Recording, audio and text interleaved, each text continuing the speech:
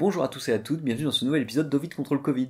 Alors ça faisait un moment que j'avais pas fait d'épisode sur Ovid contre le Covid, mais il se trouve que, outre que le Covid commence à reprendre un petit peu du poil de la bête, il se trouve que j'ai un peu plus de temps, donc je me suis dit que j'allais faire une deuxième saison, la saison automne-hiver d'Ovid contre le Covid, qui devrait nous amener globalement jusqu'à la fin du livre. Alors on en était on en était au moment où, bon, on racontait une histoire à Thésée, mais là, ce qui va m'intéresser, le personnage qui va m'intéresser aujourd'hui, c'est Hercule.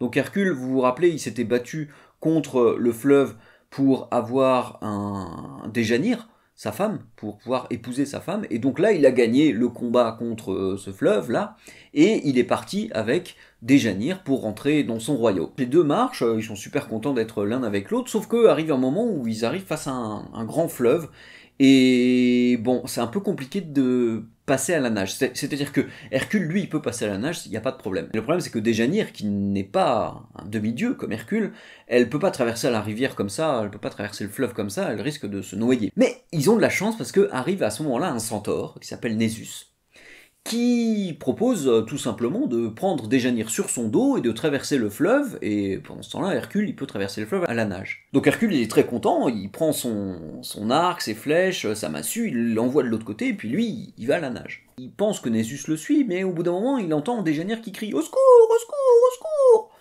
Là, Hercule, il regarde autour de lui, et, il voit que Nésus avait déjà traversé le fleuve, et il est en train de partir en emportant Déjanire avec lui.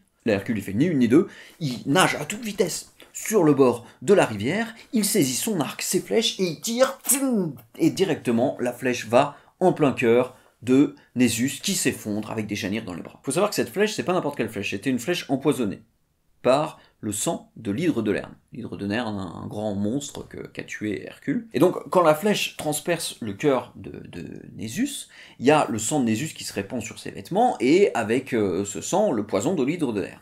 Là, Nésus, il sait que c'est sa fin, il sait qu'il va mourir, mais il trouve le moyen de penser à une certaine vengeance. Il dit à Déjanire la chose suivante. Déjanire, écoute, moi je te veux aucun mal, je vais même te donner un conseil, tu sais quoi?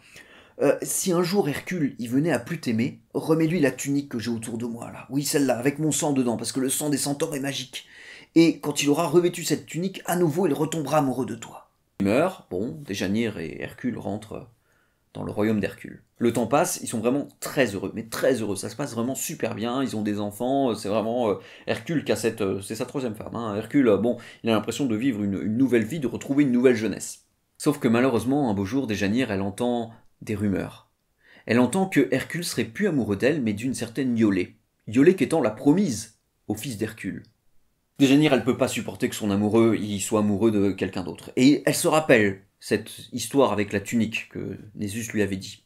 Du coup, elle prend la tunique, elle le donne à quelqu'un qui doit l'amener à Hercule, doit lui confier à Hercule cette tunique. Ce jeune homme part, il confie la tunique à Hercule. Hercule était en ce moment-là en train de prier, en train de faire des libations pour Jupiter.